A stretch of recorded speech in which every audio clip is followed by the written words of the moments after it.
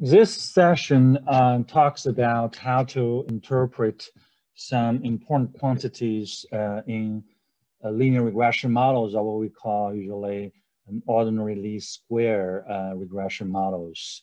So, so let's say the model, the structural model is specified as yi equal to beta 0, beta 1, xi1, beta 2, um, xi2, etc. here right? Here, the subindex i is a uh, index denoting uh, a row in the data matrix. In most cases, going to be uh, individual, right? Individual. Um, and then we use this generic letter K to denote uh, independent variables or predictors.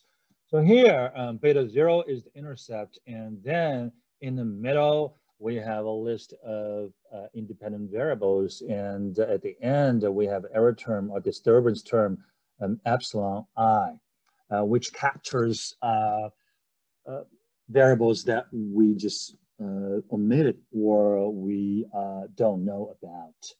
Um, and um, um, the usual quantities, statistics uh, used for interpretations include beta zero, intercept beta k, and the expected value of uh, y, that is the response variable, right, given x vector, or their estimates beta zero hat beta k.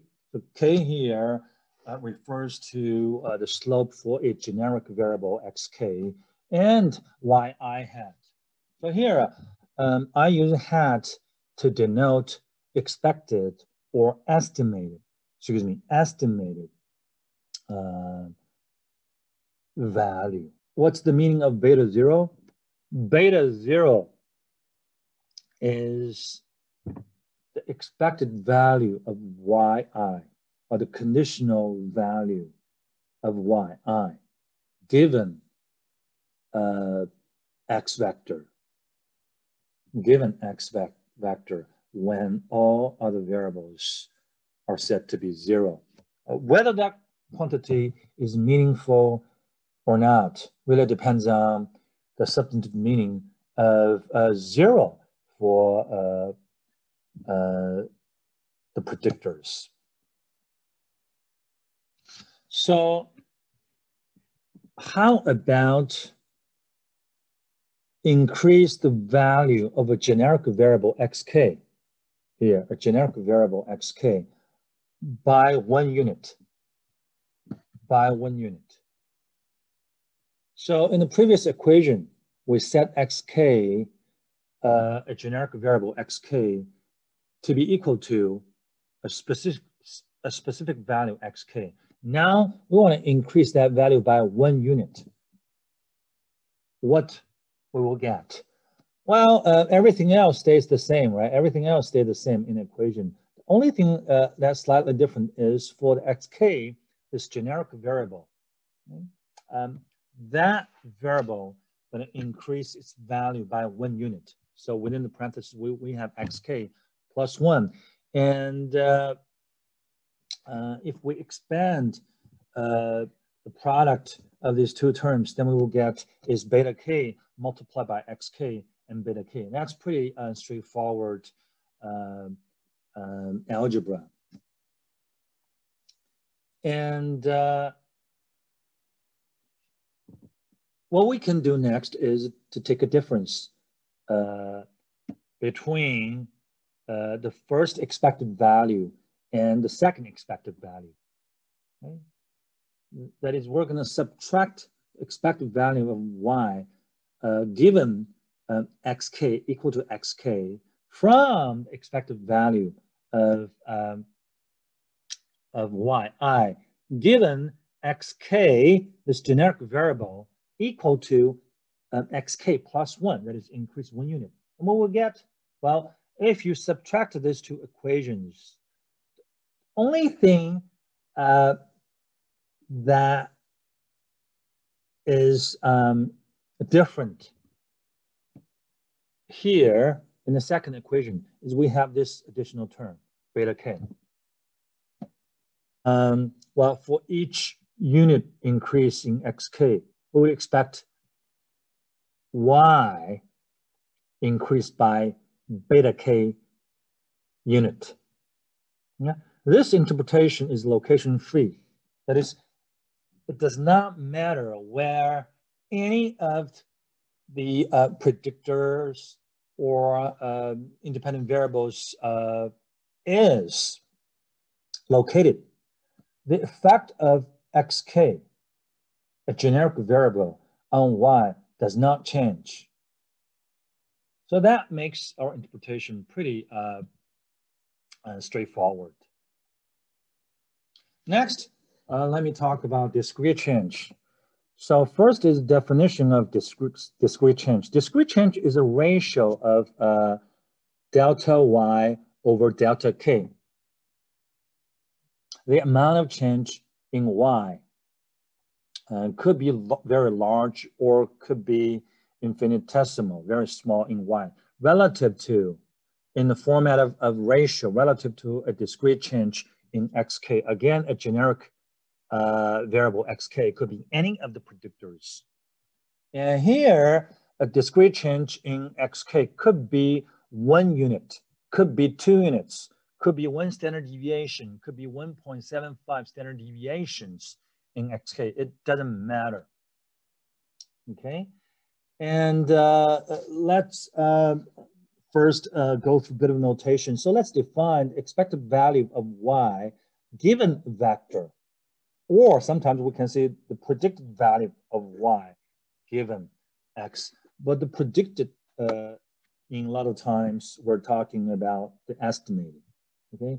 And expected, uh, in most cases, refers to kind of theoretical quantity. So we have this theoretical quantity, expected value of y, or the conditional value of y, given uh, x vector, okay?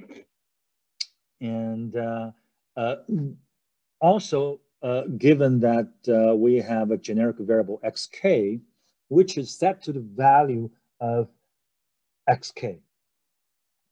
Okay, and we have uh, another quantity, the expected value of y given the generic variable xk uh, increased to the value of xk plus one.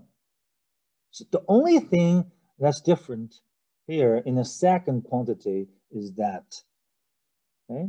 So without uh, calculation, right, is that the generic variable xk uh, increases by one unit, okay? And what we want to do, well, here, we want to take a difference between these two quantities. Well, that is delta y, right? Why? Because we love this quantity. And also, what's in the denominator? Well, it's delta xk, and what is that quantity? Is one, right? Because xk plus one minus xk is one unit. Calculate this quantity, right? So um, in the uh, denominator, right? In the denominator, well, delta xk, because we just uh, changed the generic variable xk by one unit. So that term disappears, right? You know, any quantity divided by one is going to be any whatever quantity in the numerator. So what we have is the numerator, numerator on the right hand side. So what's in the numerator? Well, what's in the numerator for the first term is this quantity, right? uh, which we just uh, derived uh, uh in one of the previous slides. Okay?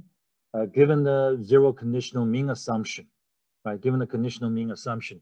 So this quantity becomes this one. And this quantity becomes this term. So uh, if we carry through the calculation, well, here, if we expand this term, we get these two terms. And the, for the second one, it does not change. And uh, after we do the subtraction, again, what we have is beta k. let's take uh, the result uh, as given. So the partial derivative of y uh, with respect to xk, assuming uh, our structural model holds, right, in the first slide, uh, we have uh, the partial derivative of y. So here is the expected value of y given x uh, with respect to xk, a generic variable xk, is equal to beta k. So the partial or the marginal is equivalent of the discrete change. So what is partial? Partial in linear regression model, or linear uh, OLS regression, is the slope of the line relating y and xk, a generic variable xk, holding all other variables constant. Since the model is linear, the value of the partial is a constant beta k. So again, it doesn't matter the values of any of the predictors.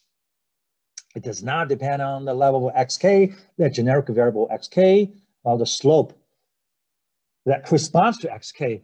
And it does not depend on value of other xk x's in the model. So that's very nice.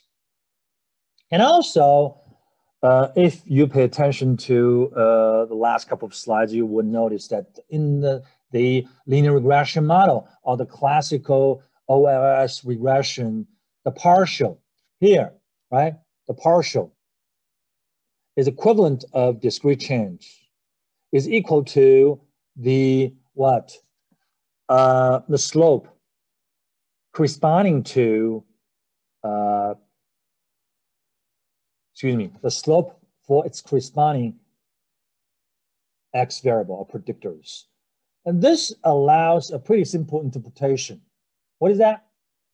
For a unit increasing xk, a generic variable xk, the expected change in y equals beta k, holding all other variables constant. And here, uh, of course, we can flesh out interpretations by adding more details about what xk is excuse me, what y is. And sometimes the predictors are dummy variables. So the interpretation going to become having um, characteristic um, xk, let's say gender or race, as opposed to not having the, that characteristic is going to result in an expected change of beta k in y, holding all other variables constant. So